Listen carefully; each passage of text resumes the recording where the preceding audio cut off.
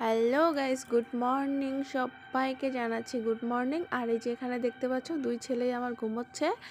আর এখন বাজে প্রায় সাড়ে দশটা। সাড়ে দশটার সময় আমি উঠলাম। ওরা সকালে উঠেছিল, সকালে উঠে আবার ভোরের দিকে উঠেছিল সাড়ে পাঁচটার দিকে। তো সাড়ে পাঁচটা থেকে আটটা পর্যন্ত জাগনা ছিল। তারপর আটটার সময় আবার ঘুমিয়েছে। তো ওদেরকে ঘুম পাড়াতে পাড়াতে আমারও অনেকটা লেট হয়ে যায় এখন সকালে উঠতে। প্রায় সাড়ে দশটা বেজে গেছে ঘুম থেকে উঠতে। আর এই যে এখানে দেখছ দুজন যেহেতু ঘুমিয়েছে, আমি আস্তে আস্তে জানালাগুলো ঘুরে দিচ্ছি। কারণ আমার ছেলেদের এত কান ঘাট একটু আওয়াজ হলেই ওরা শুনতে পায় আর একটু আওয়াজ হলেই ঘুম ভেঙে যায়, জাগনা পেয়ে যায় তার জন্য।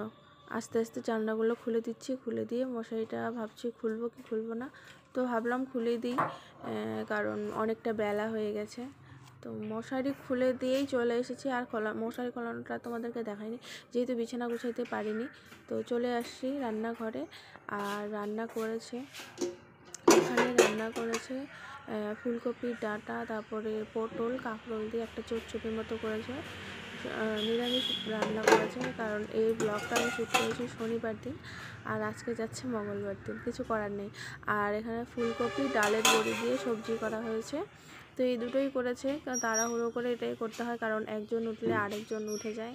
তো এই হচ্ছে, চলো খাওয়া দাওয়া করে নিই। তো খাওয়া দাওয়া করে চলে এসেছি, আর একজন উঠে পড়েছে।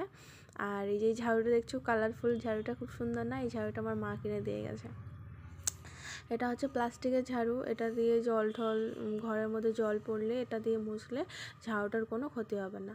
তো ভাবলাম অনেক দিন থেকে ঘরগুলো নোংরা হয়ে আছে, মাকড়সার জাল হয়ে গেছে, তো পরিষ্কার করতে পারছিলাম না, শরীরটা নিষ্পিস নিষ্পিস করছিল। তো আজকে ভাবলাম যেহেতু বাবু ঘুমোচ্ছে, একজন ওর ঠাম্মুর কাছে আছে আর একজন যেখানে বিছানায় ঘুমোচ্ছে, তো ভাবলাম আমি বিছানা, ইয়া, বিছানা বলছি ঘরগুলো ভালো করে পরিষ্কার করে ঝেড়ে নিই, যতটুকু পারব, কারণ বেশি তো হেলাহেলে করতে পারি না। তো ঘর ছাড়া হয়ে গেছে। একটা রুমে ছাড়া দেখালাম তোমাদেরকে। ওই রুমটাও ছেড়ে নিয়েছি, যেহেতু দুটো রুমেই আর ভাবছি যে ঘরটা কেমন হয়ে গেছে, ঘরটা মোছা হচ্ছে না। তো অনেক দিন থেকে ঘর মোছা হচ্ছিল না, তো ভাবলাম আজকে ঘরটা একটু মুছে নিই, কারণ ঘরটা কেমন জানি হয়ে গেছে। তা আমার ভয়েস তোমরা শুনতে পাচ্ছ কি না গলাটা একটু বসা বসা লাগছে, কারণ সকালে উঠে ভয়েসটা দিব, দিচ্ছি। ভেবেছিলাম কালকে রাত্রে দেবো, কিন্তু রাত্রে দিতে পারিনি, কারণ বাবু খুব খুব কান্না করছিল। তো আর ভয়েস দেওয়া হয়নি, ভিডিওটা ছাড়াও হয়নি। তো সকালে উঠে আমি ভাবছি যে ভয়েসটা দিয়ে ভিডিওটা ছেড়ে দিই। তোমরা দেখে নাও। ঘর মুছো প্রায় হয়েই এসেছে, এই ঘরটা মুছে নিয়েছি আর এই ঘরটাই মুছে তোমাদের সঙ্গে শেয়ার করতে পেরেছি।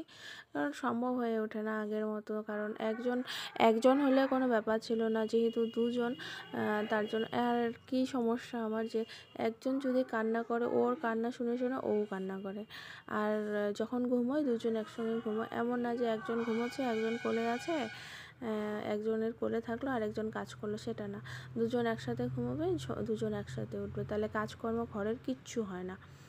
তো এই হচ্ছে, এইভাবেই দিন কাটছে, দেখা যাক কতদিন এভাবেই চলে।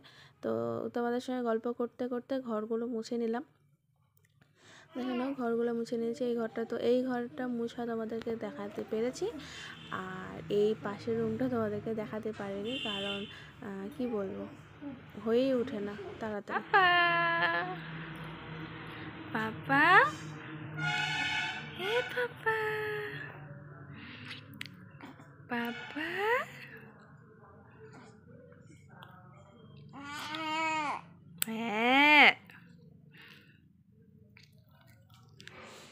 তো ছেলে আমার উঠে গেছে, এখন ওদেরকে স্নান করাবো, স্নান করে আজকে এখানে ব্লগটা শেষ করে দিচ্ছি। তোমরা সবাই ভালো থেকো আর সবাই আমার পাশে থেকো। আজকে টাটা।